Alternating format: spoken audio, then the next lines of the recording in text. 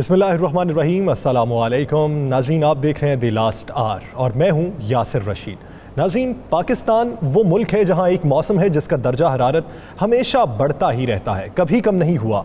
या यूँ बोलूँ कि मैंने कभी कम देखा ही नहीं और वो मौसम है सियासत का। चाहे मुल्क में कुदरती मौसम गर्मियाँ को हो या सर्दियों का, लेकिन सियासत का मौसम हर वक्त गर्म रहता है। नाजीन मुल्क इस वक्त बदतरीन दौर से गुजर रहा है और पाकिस्तानी अवाम मुश्किल का शिकार हैं, जबकि हुकूमत और अपोजिशन दोनों एक दूसरे के शिकार में मसरूफ़ हैं। आज एक बार फिर हुकूमत और अपोजिशन ने एक दूसरे पर लफ्ज़ों के तीर बरसाए हैं। आज पूरी कौम जो है, वो तमाशाई बनी हुई है और फॉरम, कौमी असम्बली नहीं, बल्कि प्रेस कॉन्फ्रेंस का था।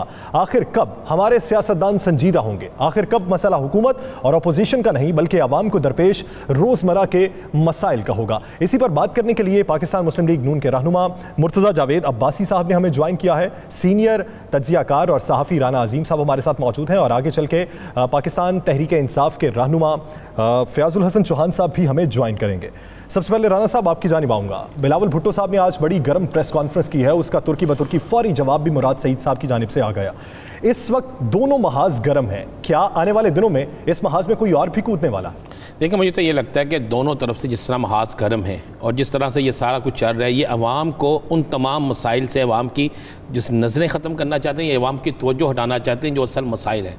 अब इनकी आपस की चबलच, इनकी आपस की गुफ्तु इनके आपस के इल्ज़ाम एक दूसरे के खिलाफ सख्त तंजो तेज़ तुम जुमले, कौमी असम्बली असम्बली से लेकर प्रेस कॉन्फ्रेंस तक, उसमें किसी एक जगह अवामी बात नहीं है। देखिए, मुझे जो नज़र आ रहा है, बिलावल भटू ने जो आज बिल्कुल वाजह कहा है कि किसी सूरत में भी वज़ी अजम इमरान खान को वह हुकूमत में नहीं रहने देंगे। अब आने वाले वक्तों में ये देखना होगा कि क्या बिलावल भट्टो जरदारी ये सारा कुछ सिर्फ़ मौलाना फजलरहमान से मुलाकात के बाद कर रहे हैं, और अगर मौलाना फजलरहमान से मुलाकात के बाद ये लफ्ज़ अदा कर रहे हैं तो फिर जेन में रखें, फिर कुछ नहीं है। और जब तक मुस्लिम लीग नून इनका साथ ना दे और एक बड़ा ग्रुप इनके साथ ना हो, उस वक्त तक कोई चीज़ जो है मुमकिन नहीं है। लेकिन साथ में आपने यह सलाह देखा कि बिलावल भट्टो ने एक और बात कह दी कि हम किसी और के पत्ते नहीं बनेंगे। वो किसकी तरफ़ इशारा कर रहे हैं? अगर वो जिसकी तरफ़ इशारा कर रहे हैं, जो आप और मैं समझते हैं तो फिर कभी भी उनके बगैर पाकिस्तान के अंदर तहरीक अदम अतमाद कामयाब नहीं होती। और अगर तहरीक अदम अतमाद कामयाब नहीं होती, नहीं लाई जाती तो फिर हुकूमत की तब्दीली के हवाले से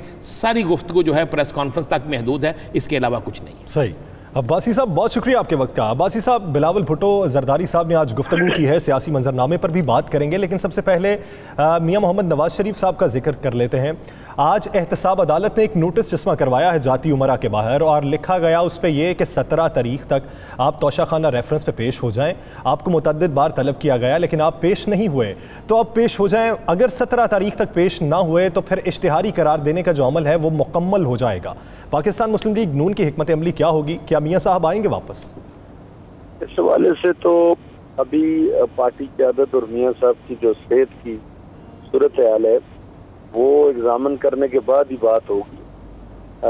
लेकिन हमें समझ ये नहीं आ रही कि हुकूमत जो अभी आपने बात की इससे पहले, मेरे ख्याल में कल तक हमारी जमात का, मियाँ साहब की सेहत के हवाले से, उनकी ट्रैवलिंग का और इस नोटिस के हवाले से प्रॉपर जवाब कौम के सामने आ जाएगा मीडिया पे आ जाएगा।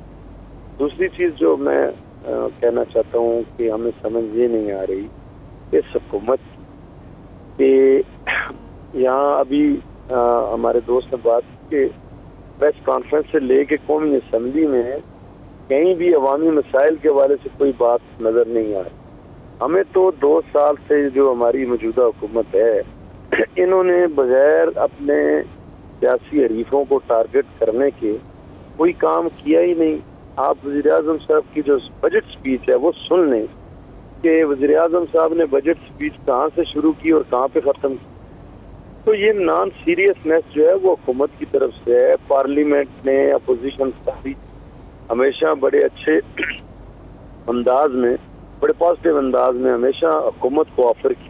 और मैं समझता हूँ ये पहली अपोजिशन है, जो मुल्की मसाइल हल करने के लिए संजीदगी से हुकूमत को ऑफ़र दे रही है, लेकिन कोई वहाँ से मुस्बत जवाब नहीं आ रहा। इनके वजरा साहबान है, जब भी आते हैं, मुतनाज़ा तरीन बातें करके चले जाते हैं कौन मसाइल। इस वक्त देखने बजट जो पेश हुआ है, क्या मौजूदा जो सूरत हाल से ये मुल्क गुजर रहा है, जो कौम को चैलेंजेस है, उनके मुताबिक जो बजट बनाया गया तो सवाल ये है के तजिया नगारों से राइटर्स से मीडिया के दोस्तों से मेरी गुजारिश है। किसी को जिम्मेदार तो ठहराएँ। किसी को तो जिम्मेदार ठहराएँ कि ये मुल्क में अपनी ज़िम्मेदारी पूरी नहीं कर रहे और ये इन मसाइल से इस मुल्क को निकालने की अहलियत नहीं रखती। अच्छा अब्बासी साहब ये तो हो गया। अब अब्बासी साहब ये बात तो आपकी दुरुस्त होगी जो आपका मौकफ है। मुझे ये बताइएगा कि क्या बिलावल भुट्टो जरदारी ने जिस तहरीक को चलाने का आज ऐलान किया है मुस्लिम लीग नून बलावल भुट्टो जरदारी की क्यादत में उस तहरीक का हिस्सा बनेगी? देखें पीपल्स पार्टी और मुस्लिम लीग नून इस वक्त अपोजिशन में जमातें हैं और हमारी क्योंकि ये मौजूदा हुकूमत के हवाले से ये बात भी मैं कहना चाहूँगा कि ये इस मुल्क के लिए अब बोझ बन गई है बल्कि सिक्योरिटी रिस्क है। बहुत से ऐसे इकदाम है इस हुकूमत के जो नाकाबिल तलाफी हैं जिनका अजाला शायद मुस्तकबिल में मुमकिन कोई अ, अच्छी हुकूमत आ भी गई तो शायद ना कर सके काफ़ी टाइम लगेगा। तो बिल्कुल हमारी ये पॉइंट ऑफ़ व्यू बहुत दफ़ा पहले भी आ चुका है और आज में अभी तक बाबा तौर पे जो प्रेस कॉन्फ्रेंस बिलावल भुट्टो जरदारी साहब ने की है वो पूरी कौम की उमंगों की तर्जमानी करती है। ये हुकूमत तो बला आ, आप आप इतमाद की तहरीक लाने जा रहे हैं? मैं अपनी पार्टी की तरफ़ से अब बात कर पहली तो ये है कि उन्होंने बिल्कुल ये हुकूमत इस काबिल नहीं है कि इसको एक दिन का भी मौका दिया और हम मैं जाती तौर पे बिलावल भट्टो जरदारी की इस प्रेस कॉन्फ्रेंस की हमायत करता हूँ। नंबर टू हमारा पार्टी का मौकफ क्या होगा? अभी तक अ, पार्टी लेवल पे क्यादत की लेवल पे उनकी तरफ़ से इस हवाले से कोई मशावरती अमल चलें आ- आप ये बता दें ये बता दें सवाल कि क्या आप अदम इतमाद की तहरीक लाने जा रहे हैं? अभी तक इस हवाले से कोई बात नहीं। तो अभी तक इस हवाले से पार्टी में मुशावरत हुई क्या है अब्बासी साहब? क्योंकि अगर बिलावल भुट्टो जरदारी साहब को देखें तो वो पिछले कुछ अरसे से काफ़ी मुतहरक हैं। मौलाना फजलुर रहमान भी मुतहरक हो चुके हैं लेकिन बाकायदा तौर पे पाकिस्तान मुस्लिम लीग नून को देखें तो वो मुतहरक दिखाई नहीं देती। बयान की हद तक तो है लेकिन पार्टी तंजीम के हवाले से वो आपको बेहतर पता होगा। क्या आपकी तहरीक आने वाले दिनों में मज़बूत हो सकती है? क्या कोई तहरीक चलाने जा रहे हैं? देखें हमारा ये ख्याल था जब मौलाना फजरमान साहब ने धरना और लॉन्ग मार्च वाली बात आज़ादी मार्च वाला मौकफ उनका सामने आया और अपोजिशन की जब मीटिंग हुई तो उस वक्त भी मुस्लिम लीग नून उनका ये मौकफ था कि मार्च में शुरू की जाए। लेकिन बदकिस्मती से आ, ये कोरोना का जो इशू आ गया कोविड नाइन्टीन नाइन्टीन का उसकी वजह से हुकूमत को ऑक्सीजन और स्पेस मिली है। हम बिल्कुल तैयार हैं। हम इस हुकूमत के खिलाफ तहरीक चलाने के लिए हमारी क्यादत तकरीबन फैसला कर चुकी तहरीक या तहरीक अदम इतमाद? दोनों पे गौर किया जाएगा जिस तरह भी इस हुकूमत से निजात मिले। अब्बासी साहब बिलावल भुट्टो साहब ने एक बात यह भी की कि मौजूदा हुकूमत की करप्शन और नाअहली के बायस पी आई ए के जो जहाज़ हैं वो बैरून मुल्क सफ़र नहीं कर सकते। आप इस मौक़ से किस हद तक मुतफिक हैं? देखिए जी, ये बहुत बड़ा अलमिया है कि अभी तक मैं पूरी ज़िम्मेदारी से कहता हूँ कि जो इंक्वायरी का प्रॉपर प्रोसीजर था, जो उनको फॉलो करना चाहिए था, वो उन्होंने अडॉप्ट नहीं किया, ठीक? और उस उजलत में इन्होंने जो प्रेस रिलीजेस दी या स्टेटमेंट जो फेडरल मिनिस्टर की on the floor of the house थी, उसने न सिर्फ़ एक हमारे एक इदारे को तबाह करके रख दिया बल्कि पूरी दुनिया में पाकिस्तान के हमें इसको नुकसान पहुँचा लेकिन हुकूमत तो ये मौकफ रखती है कि ये जो सारी भर्तियाँ थी हमारे तो दौरे हुकूमत में हुई नहीं गुजश्ता दौरे हुकूमत में हुई हैं। हम तो वो खामियाँ जो हैं जो गलतियाँ हम तो उन, उनकी सजा भुगत रहे हैं। मैं कह रहा हूँ अल्लाह का लाख लाख शुक्र है ये हुकूमत का मोहम्मद अली जना के बाद नहीं आई।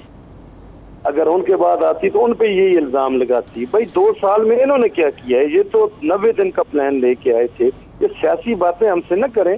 ये तो अपनी नयली छुपाने के लिए सब कुछ कर रहे हैं। अच्छा वासी साहब ये बताइए कि मरियम नवाज़ साहबा कब मुतहरक हो रही हैं? आपके ज़िले में तो मुस्लिम लीग नून का घर है आपका इलाका जो है। कब मरियम साहबा कब मुतहरक हो रही हैं? देखिए इस हवाले से अभी तो सियासी हरारत में जो ही इजाफा होगा तो हमें उम्मीद है इंशाल्लाह वो इस, पार्टी की इससे बढ़ के इजाफा होना है अभी? मैं इससे बढ़ के अभी मैं इससे बढ़ कर सियासी दर्दा हरारत में इजाफा होना है? मैं समझता हूँ एक सियासी कारकन या वर्कर होने की हैसियत से। ये एक ऐसी हुकूमत है जिसको कमज़ोर करने के लिए अपोजिशन को मतरक होने की कोई ज़रूरत नहीं। अब्बासी साहब एक एक आखिरी बात कीजिएगा। एन एफ़ सी अवार्ड के हवाले से आप क्या मौकफ रखते हैं? वजी अजम कहते हैं कि ये कैसा सिस्टम है कि जो विफाक है सूबों को तो उनका हक देता है लेकिन खुद सात सौ अरब के खसारे में चला जाता है। तो क्या एन एफ़ सी अवार्ड पर बात होनी चाहिए कि होनी नहीं चाहिए? देखें, ये इस वक्त इस वक्त मुतनाज़ इशू है। इस वक्त वजी अजम को चाहिए कि वो जिस बुरान में मुल्क है, उसको निकालने की बात करें। अगर कंट्रोवर्शियल इश्यूज़ को उठाएँगे, सूबों को आपको पता है, और बिलखसूस छोटों को शदीद इतराजात है, इस हवाले से इतराजात है। तो वजी अजम पहले डिलीवर करे हद तक लेके आए कि सूबे कन्वेंस हों। तो हम तो इसके बिल्कुल खिलाफ है, हमने फ्लोर ऑफ़ दी हाउस और कौमी सतह पे ये हमारा हमारी जमात का हमारी क्यादत का मौकफ है कि ये, ये जो इन्होंने एन एफ़ सी अवार्ड के हवाले से वजी अजम का और या हुकूमत का मौकफ है वो बिल्कुल गलत है और हम इसके खिलाफ हैं।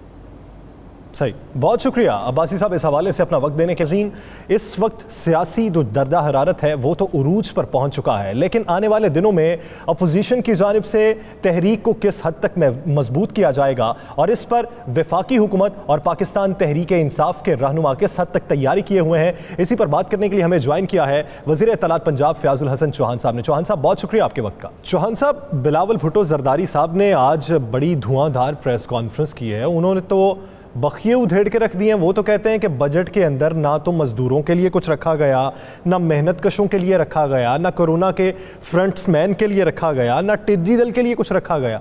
वो तो उन्होंने कहा है कि बजट ही सारा फजूल का फजूल है, पूरा पाकिस्तान करप्शन पर चल रहा है, विफाकी हुकूमत के बैनर तले।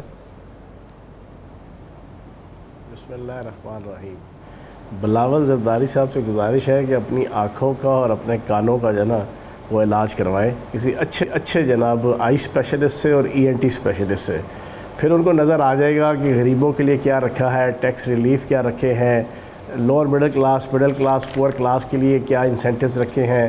पंजाब के अंदर भी जो हमने छप्पन अरब रुपए के जना टैक्स रिलीफ दिया है, अठारह अरब रुपए का पिछले साल दिया, वो सारी चीज़ें इनको नज़र आ जाएँगी। बिलावल जरदारी साहब के सिर्फ़ दो काम रह गए हैं। एक, दो महीने में एक दफ़ा असम्बली के फ्लोर पे रटी रटाई तकरीर करना और दूसरा महीने में दो दफ़ा प्रेस कॉन्फ्रेंस करना। इसके अलावा मुझे कोई तीसरा काम बताएँ। माशाल्लाह, एक लीडिंग पार्टी जिसने पैंतालीस साल छितालीस साल, तीन नस्लों ने हुकूमत की है जिस ख़ानदान ने, उससे ताल्लुक़ रखते हैं। खरबों डॉलर इस मुल्क के लूटे हैं, इनके पूरे ख़ानदान ने। मियाँ बीवी बच्चों समेत बमा अहलो अयाल। इनको इनसे पूछो कि अब आप गलती से जाली वसीयत के ऊपर मबनी अपनी जो बाप की लीडरशिप है, उसकी बुनियाद पे अब आपको आगे लगाया हुआ है। जाली भुट्टो का नाम आपके साथ लगाया हुआ है। आपने क्या किया अभी तक? कोविड नाइन्टीन आया। मुझे बताएँ, पाँच महीने हो गए हैं। इन पाँच महीनों में मुझे पूरे पाकिस्तान के किसी डिस्ट्रिक्ट का कोविड नाइन्टीन के पॉइंट ऑफ़ व्यू से कोई इनका दौरा बता दें। कि जिसमें पीपल्स पार्टी ने और बिलावल जदारी साहब ने कोई पॉजिटिव इफ़ेक्टिव विजिलेंट और कोई प्रॉपर किसी किस्म का कोई रोल प्ले किया हो वो वो तो अच्छा, क्लेम कर रहे हैं कहते सबसे ज़्यादा टेस्टिंग हम सिंध में कर रहे हैं। विफाकी हुकूमत जब टेस्टिंग ही कम कर देगी उनके वजरा कहेंगे ग्राफ नीचे जाएगा तो उससे तो शर्मिंदगी होगी हमें कि टेस्टिंग की तो आपने इस्तदाद कार कम कर दी। इनको शर्म के मारे अब इनका बुरी हालत हुई हुई है। वो जो प्रेशर कुकर होता है ना प्रेशर कुकर जब नीचे से जो है ना वो तपश बढ़ जाती है तो फिर उसकी सीटियाँ बजना शुरू हो जाती हैं ऊपर। बिल्कुल इनकी भी सीटियाँ बज रही हैं इनकी टीटियाँ पकड़ो तो इनकी सीटियाँ बजती हैं। और अब इनकी जो सीटियाँ बज रही हैं वो बोझ और अनाज में बज रही हैं कि जिस स्मार्ट लॉकडाउन के हवाले से इन्होंने पूरी कोशिश की पाकिस्तान के अंदर वज़ीर अजम पाकिस्तान इमरान खान साहब को मलाइन करने की डिग्रेड करने की रिग्रेट करने की रिप्रोच करने की विलीफाई करने की लेकिन अल्लाह पाक ने नबी पाक के सदक़े हक चार यार के सदक़े मौला अली के सदक़े आज स्मार्ट लॉकडाउन की वजह से पूरे पाकिस्तान के अंदर कोरोना वायरस कंट्रोल होना शुरू हुआ। इनकी बूथियाँ निकल आई हैं।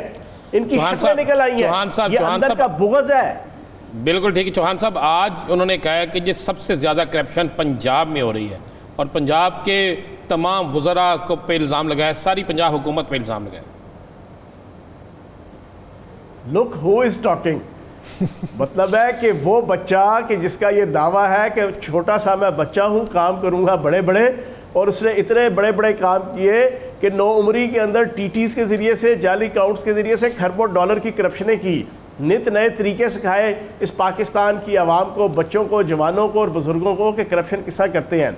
वो बच्चा जो है ना वो जाली भुट्टो का नाम लेके अब मुझे हैरानगी होती है। आप राना साहब, वो खोता गाड़ी आप देखते हैं ना, गदा गाड़ी, उसके पीछे लिखा होता है मराज त्यारा, या किसी ट्रक के जाता हुआ तो ट्रक के पीछे लिखा होता है एफ़ सिक्सटीन तो मुझे बताएँ क्या वो ट्रक एफ़ सिक्सटीन बन जाता है, या वो खोता गाड़ी मिराज त्यारा बन जाता है? बिल्कुल इसी तरह ये भुट्टो का लिखा के जरा लोगों को बेवकूफ़ बना रहे हैं, और खुदा के बंदो, जिस तरह वो खोता गाड़ी मिराज त्यारा नहीं बन जाती पीछे लिखाने से, भुट्टो लिखाने से आप कोई भुट्टो ख़ानदान के नहीं बन जाते, पहली चीज़। आप आसफ अली जरदारी के ख़ानदान के हैं। 1989 के अंदर राजीव गांधी ने दौरा किया पाकिस्तान का बींग प्राइम मिनिस्टर इंडिया। वज़ी अजम पाकिस्तान जनाब आपकी मोहतरमा बेनज़ीर भुट्टो साहिबा थी, इनकी वालदा मोहतरमा। उन्होंने राजीव गांधी और इंडिया को खुश करने के लिए मैरियट होटल के सामने जो कश्मीर हाउस था, उसके बोर्ड उतरवा दिए कि राजीव गांधी नाराज़ ना हो जाए। इसकी शक्ल और इनकी पार्टी की शक्ल और इनकी लीडरशिप की शक्ल के वो कश्मीर के लिए जिद्दोजहद करेंगे। और फिर उसके ऊपर इल्ज़ाम लगा रहे हैं कि जिसने आलमी सतह पे, मुल्की सतह पे रीजनल लेवल पे जो कश्मीर की जंग लड़ी है, बच्चा बच्चा जो है ना उसकी तारीफ़ करता है। जिसकी हर गुफ्तु का आगाज़ और अख्ताम आज़ादी कश्मीर से लेके कश्मीरी आवाम की जद्दोजहद और कुर्बानियों पे जाना शुरू होती है और उसी पे ख़त्म होती है। ये तो कश्मीर के बोर्ड हटाने वाले थे। इनकी वालदा ने कश्मीर के बोर्ड हटाए थे 1989 के अंदर। ये किस मुँह से लोगों को बेवकूफ़ बनाते हैं? और जनाब अपनी प्रेस कॉन्फ्रेंस में कहते हैं मेरी वालदा बेनजीर भुट्टो ने कश्मीर के लिए बड़ी जनाब जिद्दोजहद की थी। ये जिद्दोजहद की थी जो मैं आपको बता रहा हूँ। मेरी ये बात गलत साबित हो जाए जो चोर की सज़ा वो मेरी सज़ा। वो कहते हैं इमरान खान को हुकूमत में नहीं रहना चाहिए। अब हम इमरान खान को हुकूमत में नहीं रहने देंगे और वो तैयारी कर रहे हैं बड़ी तहरीक की। मीशत और जमहूरियत के लिए वज़ीर अजम इमरान खान ख़तरा है। ये अल्फाज। अगर तो जमहूरीत का नाम बिलावल जरदारी और मीशत का नाम आसिफ जरदारी है तो फिर वाक़ता वज़ी अजम पाकिस्तान इमरान खान साहब जमहूरीत के लिए भी ख़तरा है और मीशत के लिए भी ख़तरा है। ठीक है ना जी? तो इनसे पूछो, इनकी बढ़ यार राना साहब मुझे पता है दो साल हो गए हैं। दो साल से इनकी हर महीने एक बढ़क होती है। कहते हैं ए पी सी मनद करेंगे तो जनाब हुकूमत उल्टा देंगे। कहते हैं तहरीक दम अतमाद लेकर आएँगे, सैनट के चेयरमैन की हुकूमत उल्टा देंगे। कहते हैं 2018 का बजट जो है वो हम नहीं पास होने देंगे। 2019 का बजट हम नहीं पास होने देंगे। 2020 का बजट हम नहीं पास होने देंगे। ए पी सी मज़ाक और छेड़ बन गई है इस गैर मुतहदा अपोजिशन जिसको आप मुतहदा अपोजिशन कहते हैं ना, मैं पहले इसको कहता था आल पाकिस्तान लूटमार एसोसिएशन आजकल मैंने इसका नया नाम निकाला, गैर मुतहदा अपोजिशन वो मतलब है कि जिस भैंगे की दो आँखें आपस में नहीं मिलती, इस अपोजिशन के नज़रियात आपस में नहीं मिलते। और यकीन जाने इनकी सिर्फ़ एक चीज़ मुश्तरक है, एक कदर। बिल्कुल वही कदर है कि तेरा गम मेरा गम एक जैसा सनम हम दोनों की एक कहानी है। इनकी कहानी करप्शन की और गम एहसाब का है? बस ये कदर इनकी मुश्तरक है उसके अलावा कोई चीज़ ये मुश्तरक नहीं है। ये चौहान साहब बिलावल भुटो जरदारी साहब ने एक बात ये की है आज के विफाकी हुकूमत की करप्शन और नाहली की वजह से पीआईए के जहाज़ जो हैं, वो बैरून मुल्क नहीं जा सकते। कि आपने एक मामले को गलत तरीके से डील किया, जिसकी वजह से आप यूरोपियन और अमेरिकन कंट्रीज़ में पाबंदी के शिकार पर वो चोर और वो डाकू, ये बात कह रहे हैं कि जिन्होंने पीआईए समेत हर अदारे में, लेकिन खसूस पी आई ए को लूटा, घसूटा, वहाँ पे नाजायज़ भर्तियाँ की, वहाँ पे ये तमाम के तमाम दो नंबर पायलट जिनके लाइसेंस जाली, जिनकी जनाब डिग्रियाँ जाली, उनको इन्होंने भर्ती किया। इनकी एयर लीग ने, इनकी पीपल्स यूनिटी ने पिछले 40 सालों में और खसूस पिछले जो 10 साल दो टेन और थे मिसाक जमहूरियत, राधा आओ मिल के खाए, आधा आधा वाला जो सिस्टम था ना, उसके अंदर इन्होंने पी आई ए का सत्यानाश फेर दिया। अब उसके ऊपर कोई पॉइंट आउट कर रहा है, इनकी पकड़ कर रहा है, कोई जज अगर किसी की चोरी पकड़ ले, किसी वडेरे, जागीरदार, सरमायादार की या किसी अलीट की और उसकी वजह से इकानमी के अंदर थोड़ा सा धचका आ जाए तो लोग कहना शुरू हो जाएँगे कि जज ने गलत किया है। नहीं भाईजान जज ने तो बिल्कुल ठीक फैसला दिया है। जज ने तो चोर को पकड़ा है। जज ने तो चोर के हाथ काटने की सज़ा दी है। जज ने तो डाकू को उल्टा लटकाने की सज़ा दी है। इसी तरीके से हकूमत ने जाली डिग्रियों वाले को बेनकाब किया जो इनके दौर के अंदर इनके हाथों से भर्ती हुए हुए थे। अब उसको पकड़ो तो तब भी आप कसूरवार। वो किसी ने कहा था ना कि मैं शब का भी मुजरिम हूँ शहर का भी गुनागार यारो मुझे इस शहर के आदाब सिखा दो। अहमद फराज साहब का शेर है। तो इनसे पूछो यार अच्छा काम करो तब भी बुरा बुरा काम अगर खुदा ना खास्ता नॉन इंटेंशनली किसी हाथ से हो जाए तो तब भी बुराई लेकिन इनसे पूछो कि जो चोरी डकैती नौसरबाजी इन्होंने की है नैब वालों ने इनको शिकंजे में लिया हुआ है उसकी तैयारी पकड़े उसका हिसाब चौहान चौहान साहब मुस्लिम लीग नून नून के तो कई अरकान असम्बली आपका दावा है कि आपके रबतों में है। कुछ मिले भी हैं फिर भी मिले। क्या पीपल्स पार्टी भी अरकान असम्बली कोई ऐसे हैं जो अपनी क्यादत से नाला हैं और आपके साथ रबतों में हैं? यार पीपल्स पार्टी की आपके सामने चेयरमैन सेनेट का इलेक्शन हुआ था। मैं अक्सर सुनाता हूँ आपके प्रोग्राम में भी सुनाता हूँ वो शाकर शुजाबादी का तू शाकर आप से आना है साड़ी शक्ल वेख हालात ना पूछ साड़ी बूथियाँ वेख हालात ना पूछ। वो याद नहीं है चेयरमैन सैनट का इलेक्शन हुआ था? इनकी उछल कूद मौलवी फजलरहमान से लेके असमद यार वली साहब वो महमूद खान अचकजई साहब शबाज शरीफ साहब बिलावल जरदारी साहब ये सारे के सारे इस तरह इस तरह उछल रहे थे जनाब। ए गया चेयरमैन सैनट पता लगा अपने ही जनाब मेम्बरान सैनट जो थे नून लीग और पीपल्स पार्टी के उन्होंने जनाब ठींगड़ा दिखाया ठींगड़ा इस तरह। कि जाओ तुम जैसे तो करप्ट आपके साथ राब्ते में है? पीपल्स पार्टी के अरकान असम्बली राब्ते में है? और कितनी की तादाद में है? पीपल्स पार्टी पीपल्स पार्टी और नून लीग के अरकान असम्बली और मेबरान सैनट की अक्सरियत इन अपनी क्यादत से मुतरफ़र है। मैं बड़े दिनों से कह रहा हूँ मैं बड़े दिनों से कह रहा हूँ। ये बहुत बड़ी बात कर दावे से आपको बता रहा हूँ पंजाब पंजाब असम्बली के अंदर कम अज़ कम जो है ना चालीस की तादाद है पचास की। कि जो नाम सुनने के रवादार नहीं है हमजा शहबाज के और शहबाज शरीफ के और बेगम सफदा रवान साहिबा के।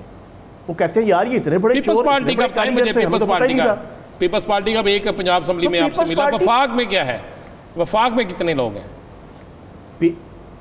मैं आपको बता रहा हूँ कि पीपल्स पार्टी का सिंध असम्बली के अंदर भी और वफाक के अंदर भी।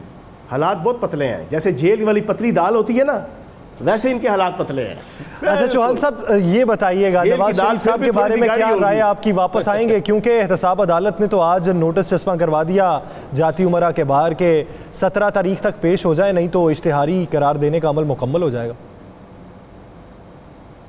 यासिर भाई एक लतीफ़ा सारों ने सुना हुआ है। बंदा एक चोर पकड़ा गया जज के सामने आया जज ने कहा दो ही तुम्हारे पास ऑप्शन है।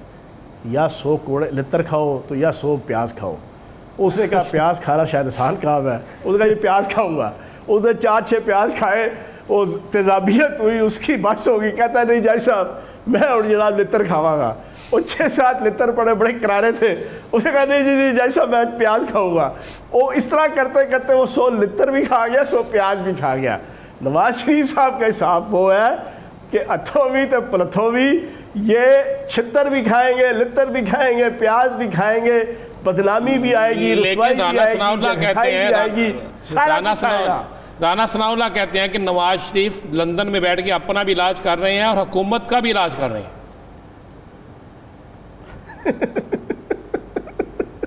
इस पर मैं क्या कह सकता हूँ हंस ही सकता हूँ और क्या कह सकता हूँ जो ना उन्होंने क्या इलाज करना है ना जिस बंदे की टके आने की इज़्ज़त नहीं है इश्तहारी हुए हुए हैं आलमी सतह पे कोई उनको नाम लेवा नहीं है पिछले चार साल से बदनामी का सैम्बल बन चुके हैं। तो मैं ये समझता हूँ अब इनका क्या कहना जाना। चले, देखते हैं कि आने वाले वक्त में अपोजिशन का इतिहाद है, किस हद तक मज़बूत रहता है, उनके जो दावे हैं तहरीक चलाने के, वो किस हद तक अमली जामे तक पहुँचती है, और विफाकी हुकूमत और पाकिस्तान तहरीक इंसाफ की हुकूमत, इसका मुकाबला करने के लिए कितनी तैयारी रखती है? बहुत शुक्रिया, फैज़ुल हसन चौहान साहब इस हवाले से अपना वक्त देने के लिए। नाजीन दीगर इशूज़ पर बाद एक शॉर्ट ब्रेक के बाद।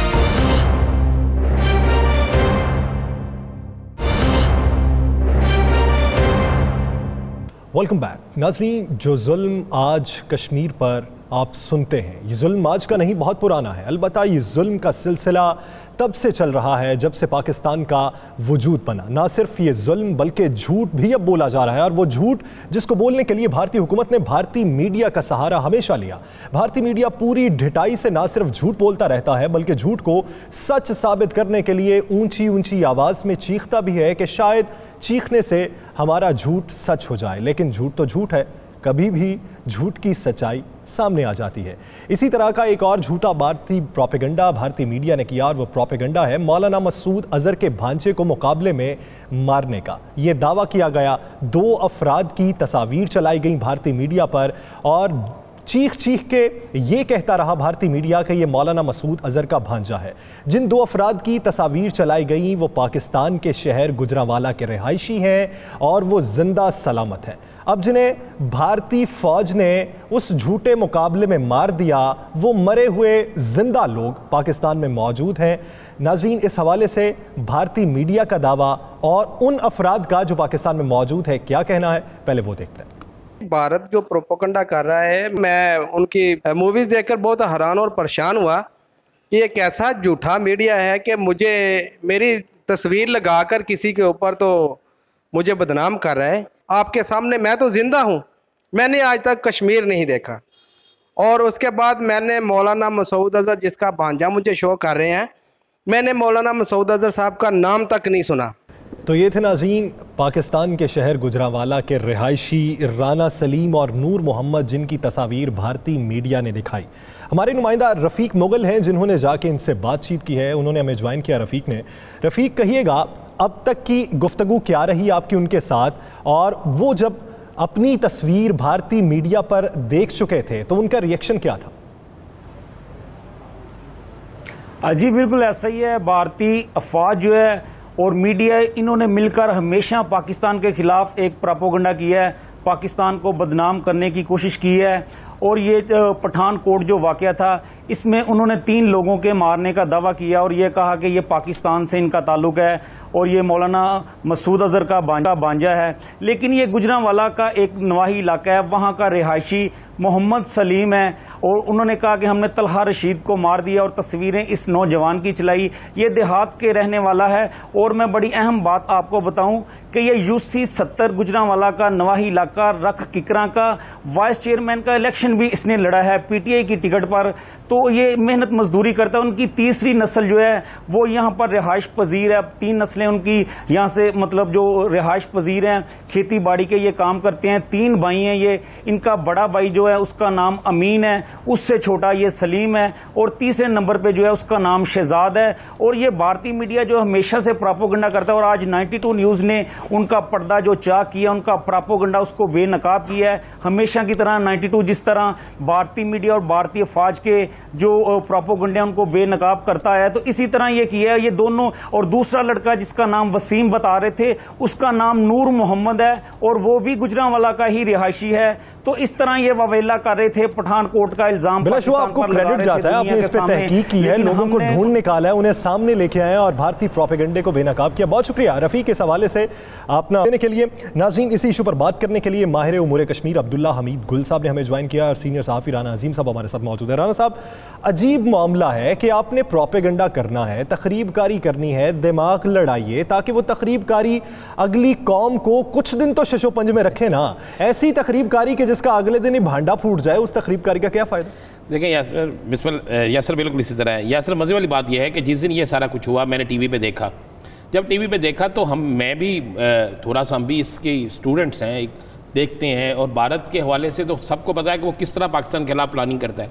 तो तो इस पर जब काम शुरू किया गया तो हमें पता चला है कि ये सारा झूठ है। मैंने जब थोड़ी सी हिस्ट्री निकाली तो मसूद अजहर का तो भांजा ही कोई नहीं था ऐसा। इस नाम का। और दूर दूर तक नहीं था जो उसका एक बांझा था, उसकी तस्वीर और थी। मैंने फौरी तौर पर इस पर काम किया, हमने अपने नुमाइंदे से कहा कि हमें जब इलम हुआ तो वहाँ पर भेजा शॉर्ट किया। अब हुआ क्या? ये सारी एक प्लानिंग हुई। प्लानिंग हुई पाकिस्तान को बदनाम करने के लिए। और भारत का मकरू चेहरा, भारत का मकरू मीडिया, भारत का बिकाऊ माल मीडिया, इन सबने मिलकर एक प्लानिंग की। और आप देखें कि उस मीडिया पर वो एंकर किस तरह बोल रही है झूठ, कि हमने जैश मोहम्मद के सरबराह के बांझे को मार दिया। मार दिया वहाँ पे आतंकवादी थे, थे। और इनके फौजी भी गुफ्तु कर रहे हैं फौजी अफसरान। इनकी पुलिस के अफसरान है वो भी गुफ्तु कर रहे हैं। अंदाज ही ऐसा है कि सुन के तो लगता है जैसे सब्ज़ी मंडी में ना पापड़ बेचने नहीं जाते। और लगे होते हैं ट्रकों के पास खड़े होके। वो इस तरह आता है बहुत बड़ा एक स्कैंडल बना दिया स्कैंडल बना के पेश कर दिया। अब मुझे बताएँ कि इंटरनेशनल मीडिया भी भारत से पूछे भारत का अपना मीडिया भारत से पूछे कि 92 न्यूज़ ने हमारे प्रोग्राम ने बेनकाब कर दिया भारत का ये एक और झूठ। ये वही झूठ है याद करें फैसलाबाद के तालब इलमों को। इन्होंने बाकायदा दहशतगर्द दिखा दिया था जब हमने उनको भी बेन उसको भी उनके चेहरे सामने लाए बेन। अब हुआ ये कि ये तस्वीर इन्होंने तैयार की बाकायदा। मैं आपको बता रहा हूँ ये बाकायदा इन्होंने पाकिस्तान से पागल है ना थोड़े से चले इतना इतना तो क्रेडिट दे देना बाकायदा तस्वीरें तो तैयार कर नहीं तस्वीरें तैयार करते हैं ये तो इनको पास झूठ के वो मास्टर है। तस्वीरें तैयार की उनके अपने मीडिया को दी। बेसिकली जहाँ पर ये सारा कुछ हुआ वहाँ पर पाँच कश्मीरी नौजवान जिनको इन्होंने बटग्राम के इलाके से अगवा किया था। मैं ये आपको बिल्कुल मुसदका कह रहा हूँ। अगवा करने के बाद उनको मार दिया गया। वहाँ पर एहतजाजी मुजाहरे शुरू हुए।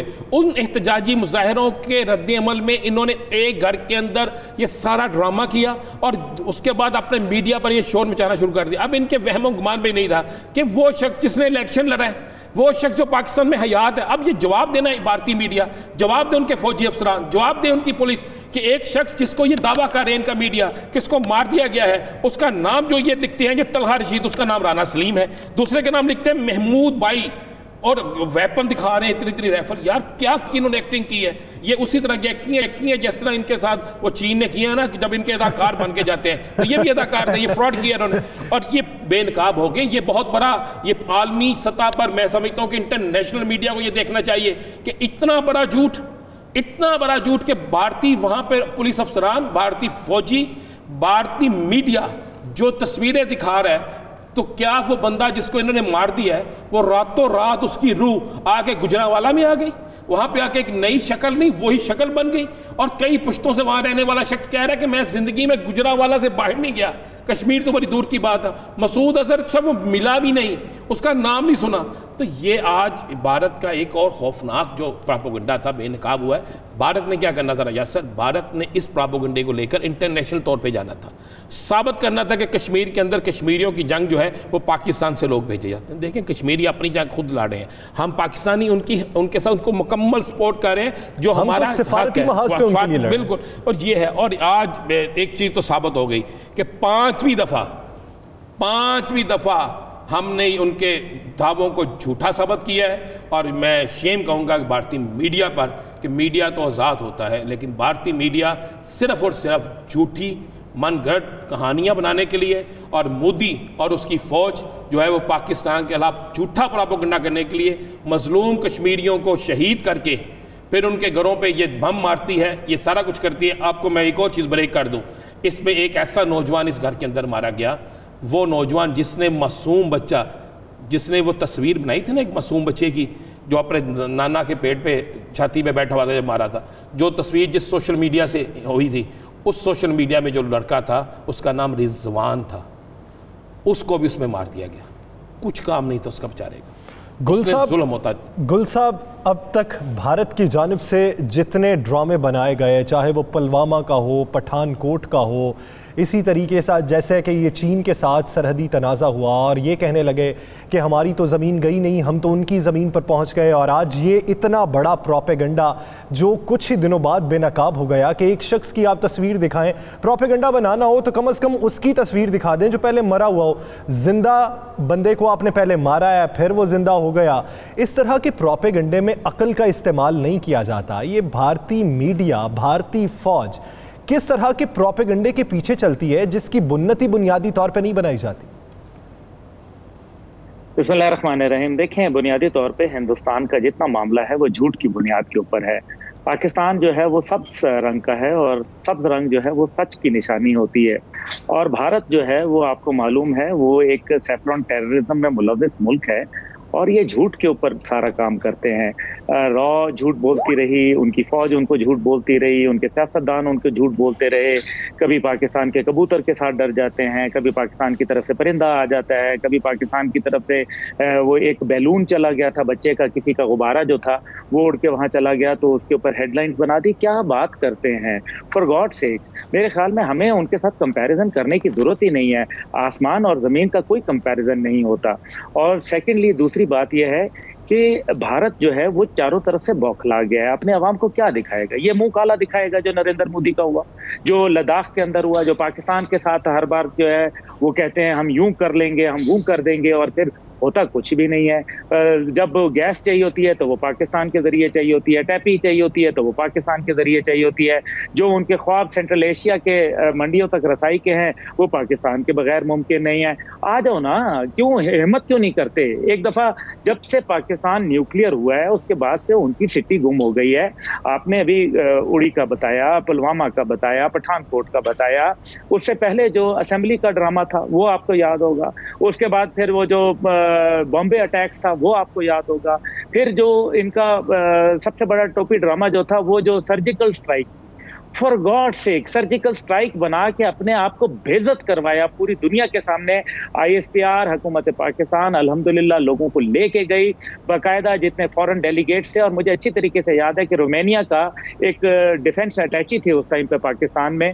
उन्होंने मुझे कहा कि ये, हम वहाँ हंस रहे थे कि हिंदुस्तान ने सर्जिकल अगर स्ट्राइक की है तो उसके कुछ तो रिमेन्स मिले।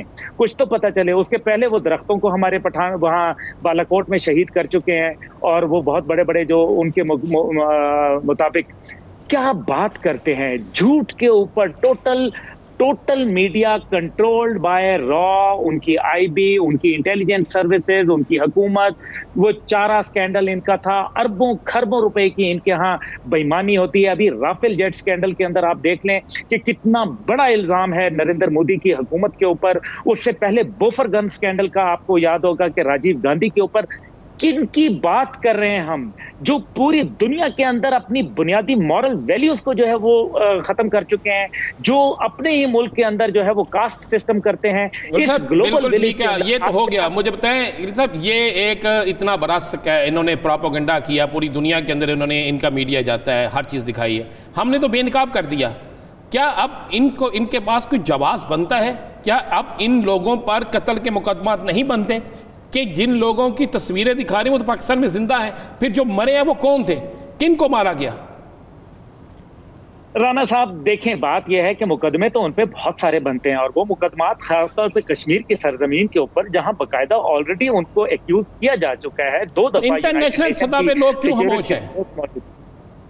इंटरनेशनल सतह के ऊपर इसलिए खामोश है कि पूरी दुनिया में दो कौमें बसती हैं एक मुसलमान और एक गैर मुस्लिम तमाम गैर गैर मुस्लिम एक हैं इस सारे मामले के अंदर। हमें ये फैसला करना है, हमें ये देखना है हमें पता होना चाहिए है कि तमाम गैर मुस्लिमीन जो है, वो एक साथ खड़े हैं और वो भारत की पीठ ठोकते हैं।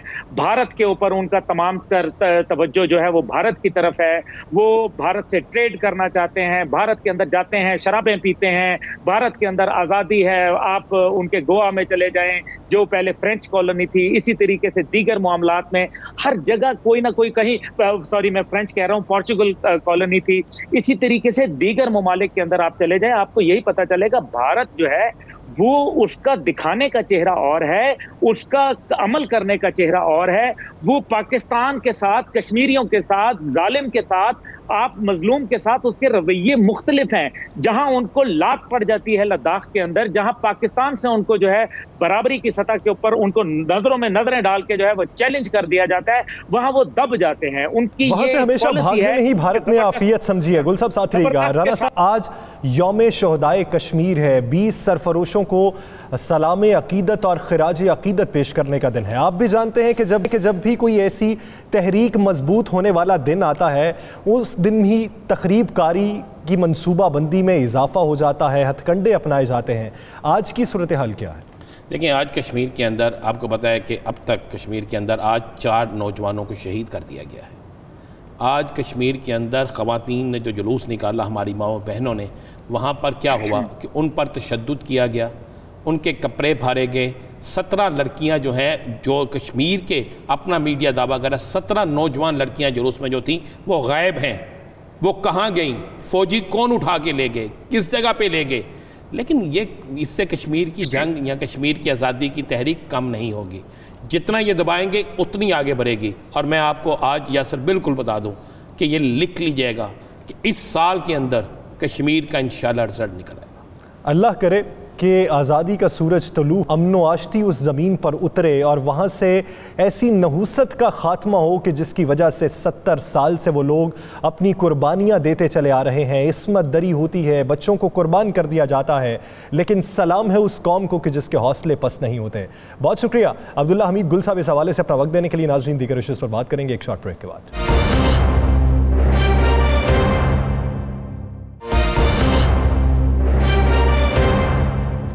वेलकम बैक नाजीन आपको याद होगा जमहूरी वतन पार्टी ने पाकिस्तान तहरीक इंसाफ से कुछ तहफ़ात का इजहार किया था। मेल मुलाकातों का सिलसिला भी चला और इस हवाले से बातचीत यहाँ तक आन पहुँची कि जमहूरी वतन पार्टी को 77 करोड़ का चेक शाहजैन बुकटी साहब को हुकूमत की जानब से जारी किया गया। ओ जी डी सी एल की मद में जो उनकी ज़मीन थी, जो किराए पर ली गई थी। लेकिन उस वक्त में वो 77 करोड़ का जारी होना एक अनहोनी सी बात थी। तो इस मामले को टेकअप हमने अपने प्रोग्राम में किया था। पहले वो वीडियो देखते हैं, फिर बात करेंगे। जमहूरी वतन पार्टी, जो कि हुकूमत के और इतिहादी हैं, वो भी रूठे हुए थे, लेकिन पाकिस्तान तरीके इंसाफ की हुकूमत ने, प्राइम मिनिस्टर की हिदायत के ऊपर उन्हें मना लिया है। शाहजैन बुख्ती साहब, इनके दो भाइयों से O G D C L ने, प्राइम मिनिस्टर ऑफ़िस की हिदायत के ऊपर सेक्रेटरी पेट्रोलियम असद याहुद्दीन साहब ने अठावन हज़ार पहले कीमत थी, छत्तीस फ़ीसद इजाफा किया है, नया एग्रीमेंट किया। सत्तर करोड़ तेईस लाख रुपए रात को दफ्तर खोल कर चेक उनको जारी किया। ये खबर ब्रेक की गई थी सुहेल इकबाल भट्टी साहब की जानब से। भट्टी साहब ने आज फिर से हमें ज्वाइन किया है। अभी तक इसका फॉलोअप क्या रहा? और इतलात ये हैं कि वो जो चेक है, वो बाउंस हो चुका है। ओजीडीसीएल की जानब से उसकी मंजूरी नहीं दी गई। किस वजह से मंजूरी नहीं दी गई? सीनियर साफ़ी राना अजीम साहब इस साथ में मौजूद हैं।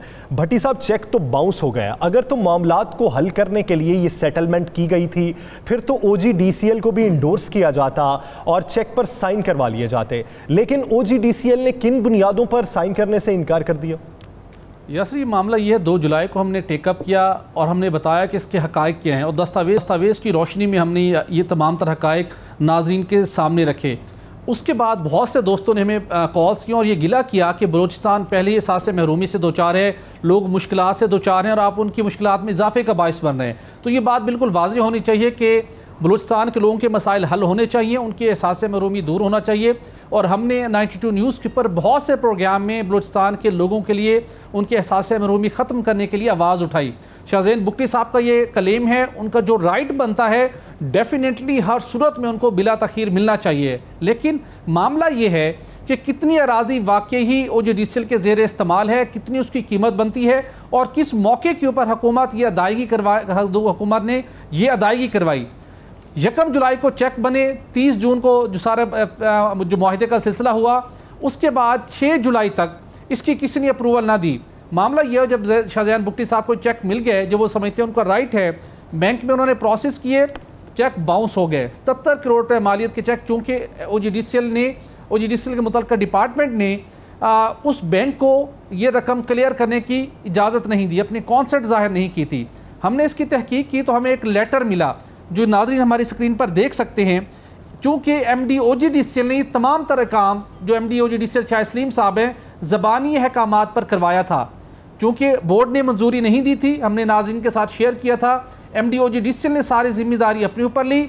मुतल जो आ, उनके जो सेक्शन थे जो शोबे शोबा जाते उनके अफसरान को कहा गया जिसके अंदर G M S C S R और S O to M D उन्होंने सारा रोल प्ले किया। चेक बने, यकम जुलाई को जारी हो गए। सतर करोड़ रुपये उनकी मालियत है। छः जुलाई तक वो क्लियर नहीं हुए। और एमडी साहब के पास अकाउंट्स एंड फाइनेंस डिपार्टमेंट ने एक नोट भेजा, जिसके अंदर उन्होंने वाजे तौर के ऊपर लिखा कि आपके G M C S R और S O to M D की हदायत के ऊपर हमने ये चेक जारी किए। मालियत सत्तर करोड़ पे है। हमें रेलिवेंट माहिदा भी प्रोवाइड कीजिए, जिसके अंदर आपने इजाफी जो ज़मीन, आपने हासिल दोबारा रिहायर की है। आपने जिसके अंदर उसका रेट छत्तीस फ़ीसद बढ़ाया है और जो चेक हमने जारी किए हैं उसकी मंजूरी दीजिए। आप सुनकर हैरान होंगे पाकिस्तान के सबसे बड़ी कंपनी के M D O G D C L Shah Salim साहब ने इनकार कर दी है उन्होंने हाथ खड़े कर दिए। मैंने तो आपको ना कोई इंस्ट्रक्शंस दी है ना ही मैंने आपको चेक जारी करने का कहा। वो बरियोल जिम्मा हो गया भट्टी साहब पता चला था कि वजूहात इस वजह से सामने आई है कि नैब की जानिब से इस वक्त इन्वेस्टिगेशन भी चल रही है शायद इस वजह से वो बैकेंड पे चले गए यासिर नैब में बिल्कुल इन्वेस्टिगेशन इसकी जारी है और हमारी इतलात के मुताबिक डायरेक्टर जनरल फेडरल ऑडिट की जानब से भी इस मामले का नोटिस लिया जा चुका है। ये इतलात है हम कोशिश करेंगे कि उसके डॉक्यूमेंट्स भी हासिल करें। उन्होंने भी M D O G D C Shah Salim Khan साहब से जवाब तलबी की है कि अच्छा, सारे मामले का बिल्कुल, हमारे सामने भट्टी साहब, रखे मुझे जाए। ये बताएँ, अब जब जो ये 70 सा- करोड़ रुपए का मामला था तो से सुहेल भट्टी साहब जब ये मुआदा ख़त्म चेक कैश नहीं होते तो क्या अब जमहूरी वतन पार्टी जो है वो दोबारा हुकूमत से नाराज़ हो रही है, हुकूमत से कोई डिमांड कर रही है, ये बताएँ। राना साहब, इसका भी उन्होंने हल निकाली जब चेक बाउंस हुए तो उन्होंने इनको बताया कि ये एफ़ आई आर बनती है। चेक का बाउंस होना कानूनी तौर के ऊपर जुर्म है। तो ओ जी डी सी एल इसकी मुर्तकब हुई है। पाकिस्तान की बड़ी कंपनी दुनिया भर में आपकी जग हिंसाई होगी, सिर्फ़ एक एम डी साहब की इनकार करने की वजह से। तो अल्टीमेटली यकम जुलाई से छः जुलाई तक जब सारे मामला ना हुआ तो ओ जी डी सी एल ने वो तीन चेक जो शाहजैन बुकटी साहब और उनके दो भाइयों को मिले थे कैंसिल कर दिए। उसके बाद M D O G D C L को पेट्रोलियम डिवीज़न से दोबारा कॉल मसूल हुई। उनकी सर्जिश हुई नदीम बाबर साहब ने इस मामले में दोबारा इन्वॉल्व हुए। और इतलात ये कि अब एक और चेक जारी कर दिया गया है, जो कि आइंदा चंद दिनों में कैश हो जाएगा। लेकिन ये दस्तावेज़ जो हमारे पास मौजूद हैं M D O G D C L Shah Salim साहब ने अपने अपने हाथ से ये लिखा है कि मैंने ऐसी कोई हिदायत नहीं दी थी। चेक तैयार करने से मुतलिक ना ही ये मामला मेरे इलम में था। अब सवाल यहाँ पर यह पैदा होता है कि छः यकम जुलाई से छः जुलाई तक चेक तैयार हुए, यकम जुलाई को जारी हो गए। छः दिन तक अगर गलत चेक जारी हुए थे, गलत अख्तियार का इस्तेमाल हुआ था तो M G O D D C L Shah Salim Khan साहब ने क्या एक्शन लिया? यानी एक सवाल बनता है कि। 77 करोड़ रुपए की अगर आप रकम जारी कर रहे हैं तो उस इदारे के एमडी को उस बात का इल्म कैसे नहीं हो सकता कि इतनी बड़ी रकम का इजरा हो रहा है? अब ये मामला कहाँ पर जाके पहुंचेगा? नया चेक जारी हो चुका है। जमहूरी वतन पार्टी के साथ किस तरीके से मामला तय होंगे ये वाला वक्त ही बताएगा। बहुत शुक्रिया। भट्टी साहब इस हवाले से अपना वक्त देने के लिए नाजीन दिगर इश्यूज़ पर बात एक शॉर्ट ब्रेक के बाद।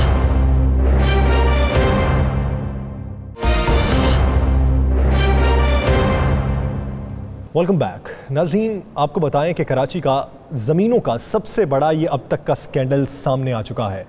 तकरीबन 1401 एकड़ ज़मीन जाली अलाटमेंट पे लोगों को जारी कर दी गई। सरकारी रेट उसका क्या बनता था और उसे जो जारी किया गया, उस पर कितने किक बैक्स लिए गए, ये एक बहुत बड़ा स्कैंडल सामने आ चुका है। ये कोई एक इलाका नहीं, मुख्तलिफ़ इलाके हैं जहाँ के ये स्कैंडल सामने आए हैं और इस पर अब तक पेश रफ्त क्या हुई है, इस पर क्या किसी की मअतली हुई है, इसी पर बात करने के लिए हमारे नुमाइंदा खसूसी वहीद राज पर हमारे साथ मौजूद हैं और सीनियर साफ़ी राना अजीम साहब हमारे साथ मौजूद हैं। वहीद, एक हज़ार चार सौ एक एकड़ की ज़मीन है, कोई दस केनाल बीस केनाल कोई पाँच दस एकड़ की बात नहीं है। इतनी बड़ी ज़मीन, जाली अलॉटमेंट पे किसने दे दी? क्या कोई पूरा माफिया इसके पीछे बैठा हुआ है? देखें यासर साहब, ये तो एक सिर्फ़ डिस्ट्रिक्ट है, कराची वेस्ट का मामला है। कराची के जो छह डिस्ट्रिक्ट हैं, उनमें पच्चीस हज़ार जो सरकारी एदाद शुमार के मुताबिक जाली एंट्रियाँ हुई हुई हैं। हज़ारों एकड़ ज़मीन जो है, बासर अफराद को जो अलाट की गई है बासर अफराद ने फ्र, अपने फ्रंटमैन के नाम पर जो है ये ज़मीन अलाट की गई हैं। सिर्फ़ कराची वेस्ट का जो डिस्ट्रिक्ट है उसमें सिर्फ़ एक हज़ार चार सौ एक एकड़ ज़मीन जो है वो जालसाजी से नवाजने के लिए अपने जो बासर अफराद हैं उनके नाम पर की गई। इनकी जो मालियत बताई जा रही है सिर्फ़ एक सब डिवीज़न की जो मंगो पीर की जो रिपोर्ट आई है मुख्तार कार ने दी है। एक हज़ार चार सौ, एक एकड़ ज़मीन सिर्फ़ एक सब डिवीज़न से ये जाली अलाटमेंट हुई है उसकी जो मालियत बताई जा रही है, पचपन अरब रुपए से जायद जो मार्केट वैल्यू बताई जा रही है, इसमें सरकारी जमीनों पे जो लैंड ग्रेबिंग की गई, मुबैना जो लैंड ग्रेबर अली हसन द्रोही का नाम भी जो है सबक जो डिप्टी कमिश्नर हैं इंक्वायरी अफसर हैं उन्होंने उनकी जानब से कमिश्नर कराची को ये मामला भेजा गया। तो ये रिपोर्ट किसकी जानब से जारी की गई? इस पर अभी तक क्या कोई एक्शन हुआ है? हलचल मची? देखें जी यासर साहब अभी तक इस पर जो है वो कोई एक्शन तो नहीं हुआ है? इन्होंने सिफारशात की हैं कि ये हमने जो senior member board of revenue की जानब से पूरी कराची भर के जो डिप्टी कमिश्नर्स को मामला भेजा गया था, उस पर हमने कार्रवाई की है। उस पर जो निशानदाही हुई है स्क्रूटनी करने के बाद ये मामला ज़ाहिर हुआ है। अभी इनकी जो जाली ज़मीनें निकली हैं अलाटमेंट आर्डर निकले हैं, उनकी मनसूखी भी नहीं हुई है, ज़मीन मनसूख भी अभी नहीं हुई है, दाखिला इनके जो अलाटमेंट आर्डर्स थे तो अभी मामला जो है सिर्फ़ सिफारिश की हद तक जो है मौजूद है। कमिश्नर को कार्रवाई करनी है कमिश्नर कराची को बोर्ड ऑफ़ रेवेन्यू को कार्रवाई करनी है। वही क्या ये वो ज़मीन नहीं है जिसमें चार सियासतदानों के नाम भी आए थे और जिनके हवाले से पहले भी एक इन्वेस्टिगेशन हो चुकी है? राना साहब इसमें पहले भी जो है तहकीकतें हुई हैं उसमें जो अफसरान पर पूरा का पूरा मलबा जो है, वो डाला गया। अभी जो सियासतदानों के पहले नाम आए थे, उनके डायरेक्ट तो इसमें सियासतदान मुलवस नहीं, उनके फ्रंट मैनों के नाम पर उन्होंने ज़मीनें अलाट करवाई हैं। मुख्तलिफ़ उनचास अफराद हैं जो डमी नामों पर ये ज़मीन अलाट की गई हैं। अब मामला जो है ये सिंध के जो इदारे हैं उनके बस की बात नहीं है ये नए मामला उठाएगा। उसके बाद ही कोई जो है बड़े बड़े नाम निकलेंगे उनके पीछे कौन है? अब तक हमारा बनता क्या रहा है? अब तक तहकीकत होती रही है ज़बानी कलामी होती रही है। खुदा से उम्मीद है कि कोई बेहतर हल निकले। नाजरीन दिलास्टार से मुझे दीजिए इजाज़त। अल्लाह के बाद।